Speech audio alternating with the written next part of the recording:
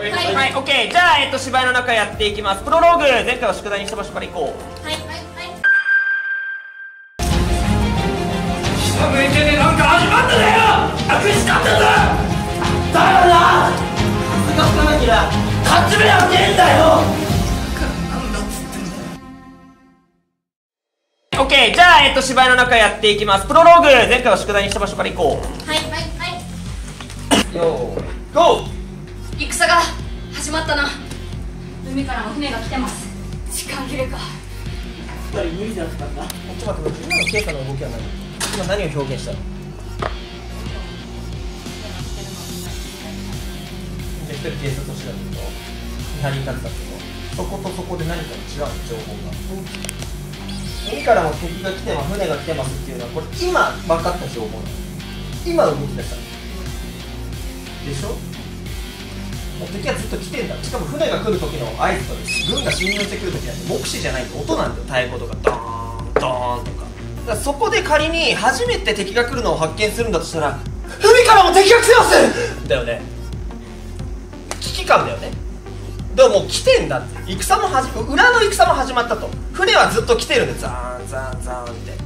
対岸からあの千葉のこの岩倉こことここから来てるからね鎌倉方面。にもう来てるからただ後ろもどうやら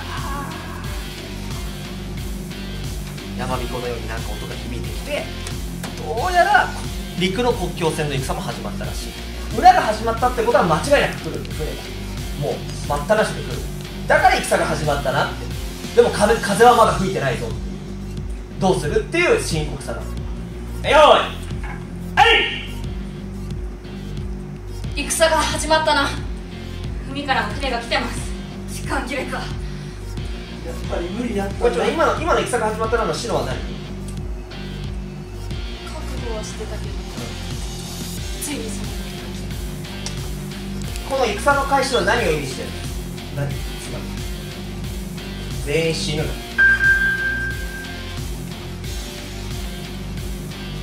神風が吹く前に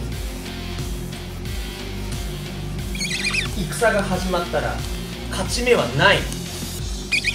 漏れなく5万人の人間にみんなは蹂躙されて里見の国も国境線の仲間もみんな皆人みんな皆殺しにあって阿波は扇ヶ谷の手に入る。今でも戦う覚悟を決めてるじゃん。じゃあな死ぬ覚悟を決めなきゃいけない。だから今の音は全然違う。もう一回。えよ。はい。戦が始まったな。海からも船が来てます。時間切れか。やっぱり無理だったんだ。俺のせいでダメになったんだ。ああ食いしばって立て大学。てめえに下向いてる今なんてね顔上げろ。顔上げろ。あいつは上げろ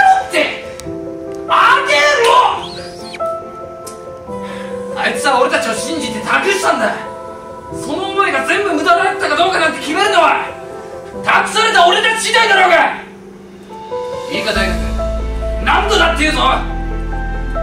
何があっても甘えずに立て。歯を食いしばって立ち上がれ。ケンパチその辺にしておけ。大学も本当は分かっているんだ。でも失ったものが大きすぎるんだ。はいはいはい原発が違うよ。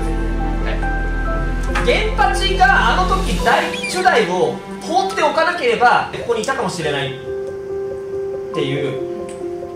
その大学は大学のせいって思ってるけど原発は誰よりも原発のせいって思ってて自分に言い聞かせるように大学に言わないと圧倒的リアルな死。でそれそのその兵士としてのマインドプラス戦争をなんとかできる側のと言われてる人たちじゃん。英雄と言われる人たちでね。一般兵ではないわけじゃん。戦働き一つで何もかもひっくり返せるっていう立ち位置の武将たちね8人の剣士っていう。この八剣伝において。その8人の剣士が揃いも揃って今失策というか主代という仲間を失い新兵という仲間を救出もう一回行こう。よはい。戦が始まったな。海からの敵が来てます。時間切れかやっぱり無理だったんだ。俺のせいでダメになったんだ。ああ食いしばって立て大学お前に下向いてる暇はねえ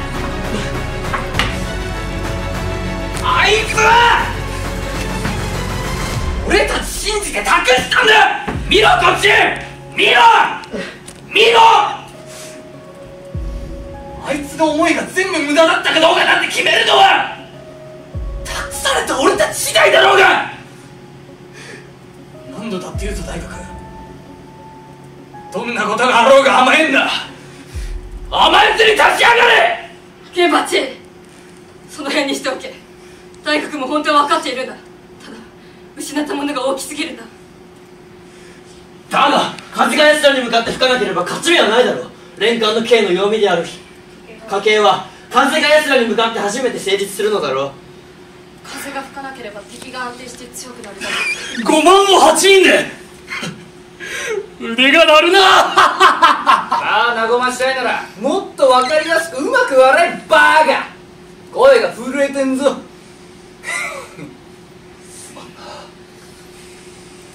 ちょ待ってテンパあれだな。この消極的なところに何も響かない。なんか何もない。いやケナもね分かんないんで俺今。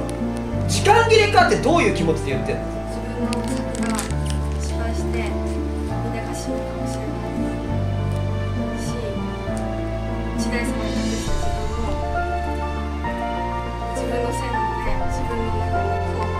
誰よりもさこの作戦の成功願ってるわけだよね。でしかもこの台本では描かれてないけど骨肉の刑って言って吉成を拷問してるんだよ。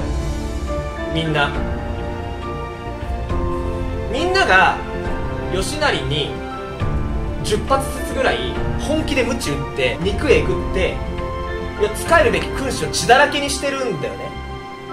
でしかもそれを外に信じさせるために自分たちの中だけしかそれが理解されないように「すいませんバチン!」とかじゃなくて「うわー!」みたいなことをやらなきゃいけないパフォーマンスとしてやったんだよみんなはもうでそこまでして君主と姫を送り出してるの敵陣にいつ死んでもおかしくない敵陣に放り出してるのこれでかつ陸では自分たちの邪を払う力をここに集結させるから勝ち目のない妖魔との無限の戦いを強いてるわけもう多大なる犠牲がここに生じててこの作戦のために。で戦が起きるまでに風吹け風吹け風吹け風吹け風吹け風吹けってずーっと誰もが思って思って思って思って風吹け風吹け風吹け風吹け風吹けって思ったら先にドーンドーンわーキンキンキンが聞こえてくるわけ。その一回まずさ圧倒的な絶望があってそこに。戦が始まったな。っていう別に秋に入ってほしいわけじゃないんだよ一回その願いが強くあるんだよ本当に。このシーン始まるまでこれ原八はさそのやっぱ下向いてる暇なんてねって大学に言うけど下向くのはもうみんななんだよねこれ。原八も含むみんななんだケノもさ今さ原八その辺にしておけ。大学も本当は分かってるんだ。ただ失ったものが大きすぎるんだ。って言って誰に何言ってんだか分かんない。言葉言ってんの。じゃなくてじゃなくてさ失ったものが大きいのも自分だし策が失敗させたのも自分だし全ては自分なんだよケノは。もうこの瞬間に自殺したっておかしくないぐらいのマインドになってなきゃおかしいんだよこれ。私のせいだ古文もやはり私は剣士ではなかったとか。私が剣士でなければよかったんだとか。私を発見しなければよかったんだとか。お前がここに連れてこなければよかったんだとかいろんな思いがあってもう原八がいろいろ言うけど勝てないもん。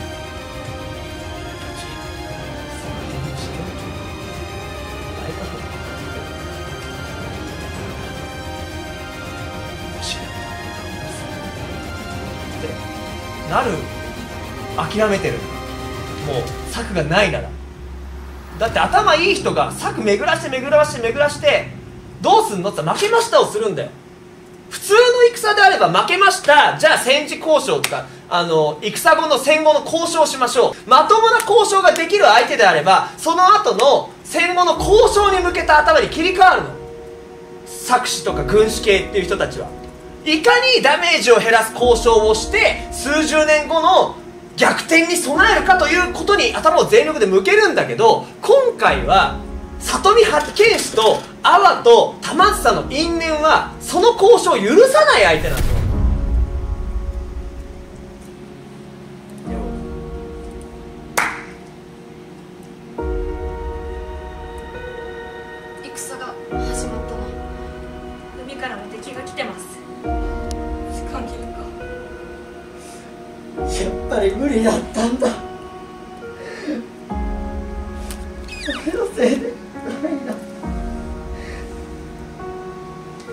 食いしばって立て大学。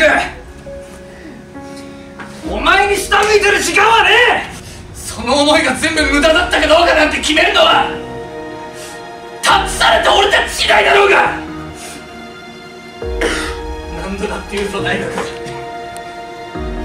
どんなことがあろうが甘いんだお前つに立ち上がれ。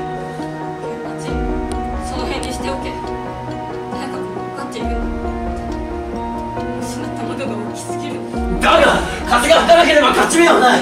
連環の剣の弱みである家系は風が奴らに向かって吹いて初めて成立するんだろう。風が吹かなければ敵が安定して強く5万を8人で腕が鳴るな！さあまごましいならもっとうまく笑えよなバカ。今どどういう気持ち何を巡らしてる考えるいや違うもうね戦が始まったのよ。なんで戦が始まったというドラマが起きてるのにまだみんな過去のことをずっとやってるじゃ今からどうするかじゃ戦は始まったの。船は来るの。ここで5万を迎え撃つか逃げるか。そもそもその2択を決めなきゃいけないわけじゃん今。からでしょ？作戦通りは作戦はもう崩れたと。だけど俺たちは作戦通りこのポジションを守って頑張るんですかっていう分かる言ってること。でもみんな今次へのマインドがないじゃん。諦めて絶望するのは全然いいんだよ。そのもう降参もう死のう。でもいい。でもまあ敵が来たら戦ってサクッと死ぬぐらいの感覚でもいいし。だからそれはケノの考えであってじゃあシノは？なんでそこにずっと座ってるの？いや座っててもいいのでも座ってるだけの理由がないと座ってちゃいけないんだよ。だって戦が始まってるから。原発のさこのあいつは俺たちを信じて託したんだ。その思いが全部無駄だったかどうか決めるのは託された俺たち次第だろうがっていう言葉を聞いてその通りだなって思った人。頑張るべきだなと。思った頑張るべきだなって思ったら頑張るべきだなと思うんだよ。思う。それを行動に移してこない。刀持つなり武器持つなりそうだよね。立ち上がってもう一回敵を見るんだよ。改めて。あ海の向こう。背後。折れるの心がなぜなら今支柱がないから心に託されたそうだ立ち上がろうなんで託されたのか初代様は何を願ったのか里見の平和だ何がある何があるってなる結構無理だなって思うでもだって今誰もだって一緒に戦おうとしなかったじゃあなんでみんなに言ったんだこの同説の言葉はみんなを諦めさせるセリフなわけ要はここにとどまるのをやめようとさせるセリフなわけ。ってなったらそのやろうとしてる人間を説得しなきゃいけないわけ。仮にこれがシノときあのソース武器持って立ち上がり始めたらその2人を入れてもいいかもしれないけど。何武器持ってんだっていうだがなのこれまあ、まだ立ち上がってないから立ち上がったら大国まあ、立ち上がらないんで。何を理想を語ってる。現実を見ろ。っていうターン。だからこの叩き落とすダガなの。もっと喧嘩売らないと喧嘩売るっていうか相手を心砕かないと。それはこいつらのためでもあるし中大のためでも。究極的には。玉梓を打つっていう究極の目的を叶える。玉梓さえいなければいつかまた目が出るかもしれないもうちょっとさわがままにしよう一緒もう一回。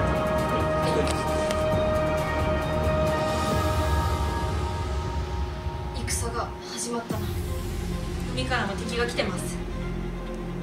時間歓迎かやっぱり無理だった。んだ俺のせいでダメになったんだ。歯食いしばって立て大学。お前に下向いてる時間はねえ。どんなことがあろうが甘えんだ甘えずに立ち上がれ。ケンパチその辺にしておけ大学も分かっているんだ失ったものが大きすぎるんだだが風が奴らに向かって吹かなければ勝ち目はない。連環の刑のななんでそこのダガで立ち上がる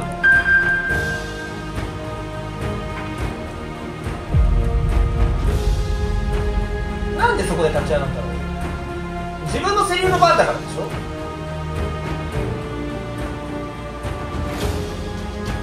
だがって言いたくなったのはどの瞬間だよ？ケンパチが思いをつなぐじゃあその時に立たなきゃダメじゃん。言ってること分かる。だみんなその相手の芝居をやってる間の芝居が固まってるから何も生まれないんだって。思ってたらわがままに芝居してそう思った瞬間に動いて感情表現して表現。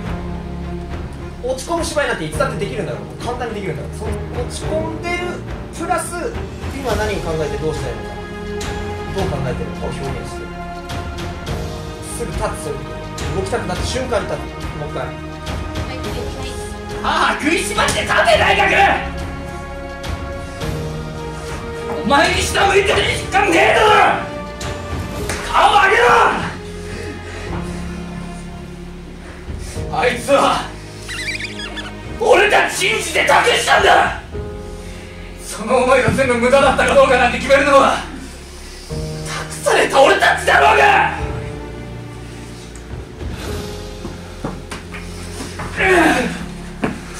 見ろ何度だって言うぞ大学。どんなことがあろうが甘えんな。甘えずに立ち上がれ。その辺にしておけ。大学も分かっている。んだ失ったものが大きすぎる。んだだが風が奴らに向かって吹かなければ勝ち目はない。立っただけじゃんそれ。今な何を思って立ち上がったの？自分は原発の同調で戦う意思がある。程度神秘を繰り返さないといけないっていう気持ちがまずあるんで、その戦う姿勢もあるんですけどその同説が僕が立つ時にちょうど一瞬立ち上がって武器を持ってなかったんでこれは多分自分と原発とは一緒じゃないなと思って一瞬迷いがあったんですけどそれでも僕は原発と一緒で戦う意思を見せないとということでそれからしっかり立ち直したら宗介も篠もみんな立ち上がったでも武器持ってない人もいるただ立った芝居にしか見えないそれをやるんだったら同説の武器を拾ってふんって渡すとかだからそれを受け取らないとかいろんな方法があるわけじゃん。ただ立ってるだけなんだよ。同説は何？バカみたいに突っ込んでいくのを負けるから、はあみたいな。じゃあ近づいていきねそこにいちゃいけないじゃん。はあって思ってる。はあって思ってるのに行動を移さないような行動力のない男じゃないじゃん。同説っていう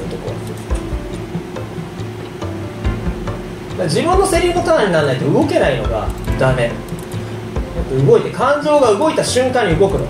さなんでかって言ったら感情はこ表には見えないから。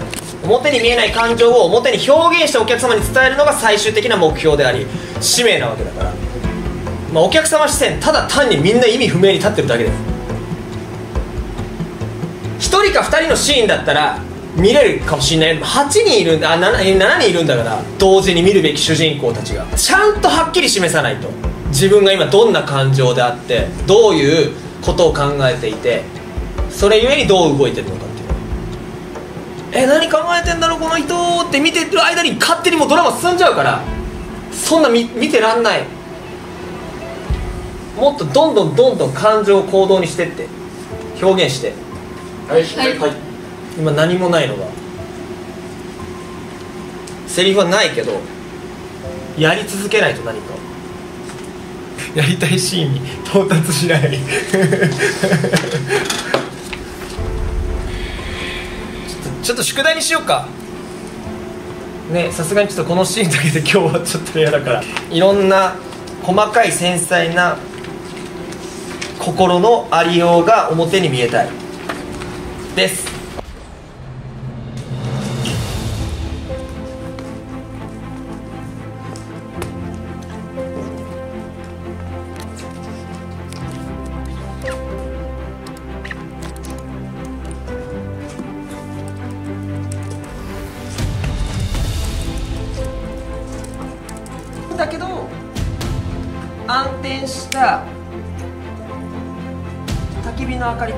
パチパチが来るじゃん。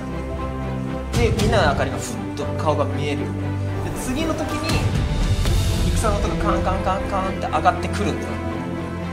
でこの戦の音が聞こえた瞬間のみんなのおそらく強烈なリアクションなんだよ。まず一発目にある芝居ってさ。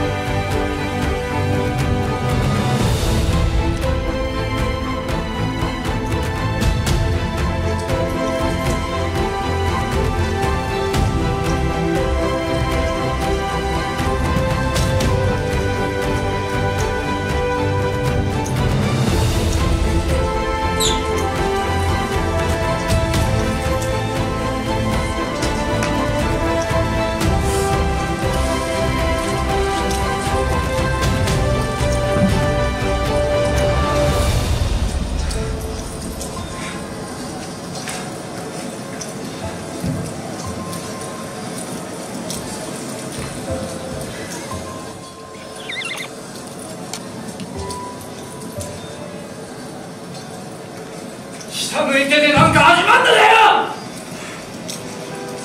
あいつは俺たち信じて託したんだぞ！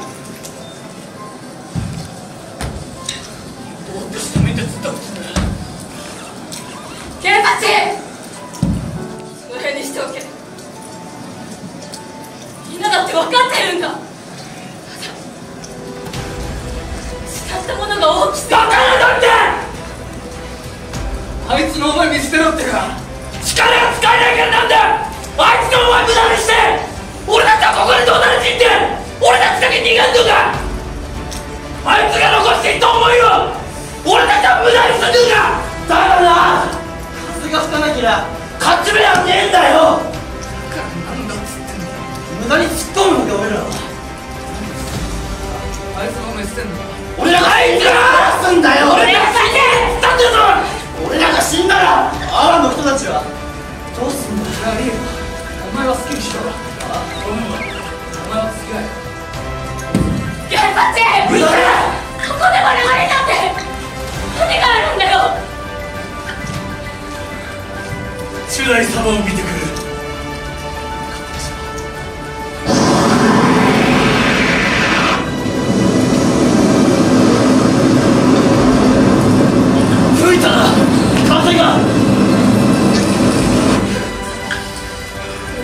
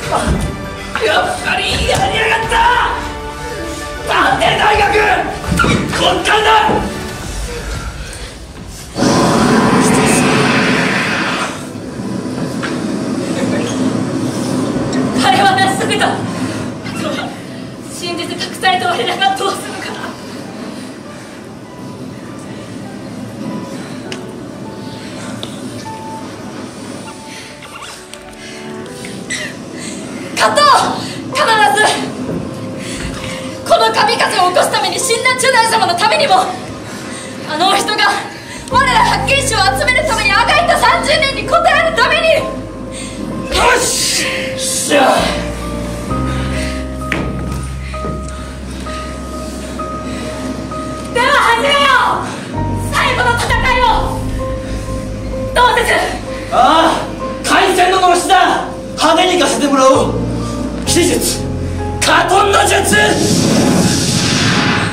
貴様らは何者だ我らの神の天使貴様らは新しいささがみに振り回すものないはいはいそんなそうだやっぱそんぐらいになるよね。なんかその感覚としてはさ。うんうん。重さがあってさ現実を受け入れられない受け入れたくないがあって。でそのやっぱそうだと思う原発と古文語がさ前向くと思うんだよ最初に。うん。でその大学に言ってるようだけどみんなに言う原発がいて。それをもう止める理性派がいて。どうにもならない。次を考えなきゃいけないで気持ち頭では分かってるけど気持ちで認めれない人と頭なんてとりあえずいいから気持ちでいく人気持ちが負けちゃってる人。がいてさ今ぐらいやっぱその発見士がさぐちゃぐちゃになるべきだ。風が吹くまで。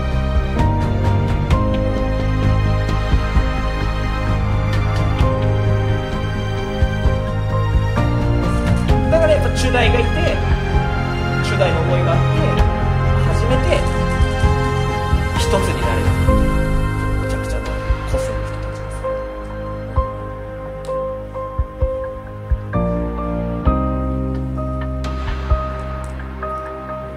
多分だから今みたいな間とかそのなんとも言えない。別にそいつに文句言いたいわけじゃないけど言わざるを得なくなっちゃってる自分のザギザな心の感じ。とかが多分リアルだと思う。でその喧嘩したの